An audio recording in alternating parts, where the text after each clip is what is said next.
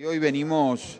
eh, con una reunión, con una agenda para, el futuro. Vamos a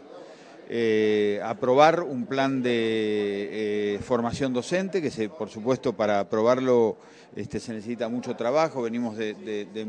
muchos meses de trabajo,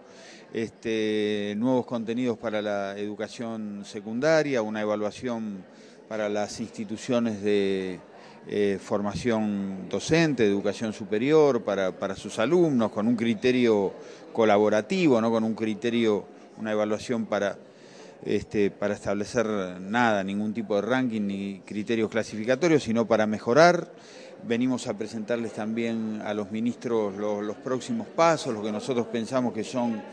las, eh, los objetivos y diría en algún sentido las obsesiones de aquí al 2016. Tenemos que pensar en una deuda que tenemos, que son más escuelas de jornada extendida o jornada completa. Tenemos que, seguir mejorando los aprendizajes de los alumnos en ciencias, en matemática y todo esto está, está propuesto. Vamos a pensar y trabajar en las pruebas PISA que, que las aplicamos este año en todo el país. Este país este, no es el país del derrumbe, no es aquel país que, que tomamos hace unos años, pero tenemos desafíos porque todavía hay chicos que debieran estar en la escuela y están en la esquina, sobre todo los adolescentes,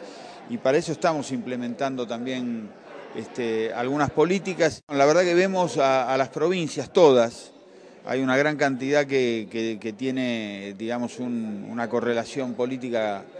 eh, positiva respecto al gobierno nacional, pero hay muchos no y, y la verdad que podemos decir que con todos hemos coincidido en los objetivos, todas las provincias en menor o en, en menor o en mayor grado tienen los mismos problemas